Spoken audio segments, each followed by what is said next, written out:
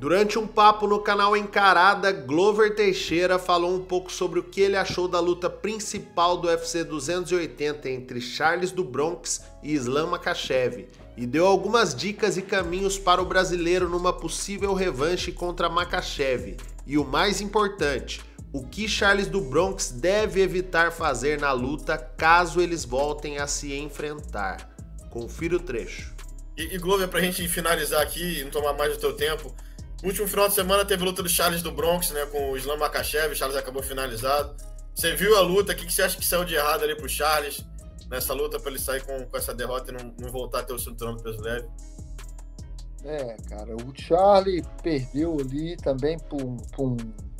O Charlie falou mesmo, lá parecia mesmo, né? Que ele assim, não tava o Charlie de, da, da, da, da última luta, né? Então pareceu meio parece mais lento um pouco ali, começou meio, meio, meio sem movimentação, você entendeu? É, mas ele falou, né, que ele entrou meio ruim, mas o Mikaev também, né, cara, esse é, é, muito sinistro também. O cara, pô, cara é, é teu quadril, dá pra ver que teu quadril muito pesado, muito forte ali por cima ali, conseguiu dominar bem, né? Mas é isso aí.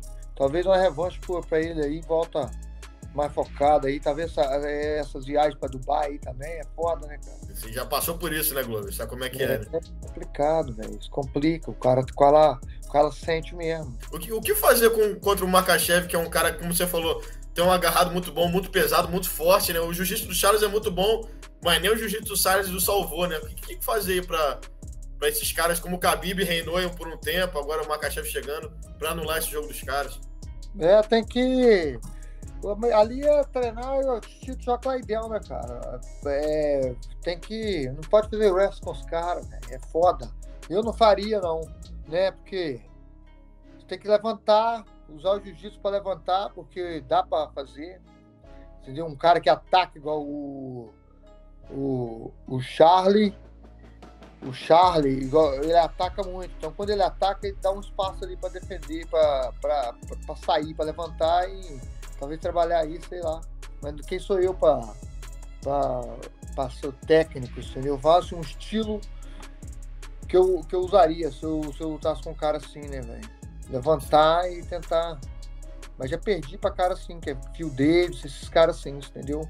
Que é o Corientos mesmo, que garra, trava dá para fazer o jiu-jitsu e complica, entendeu?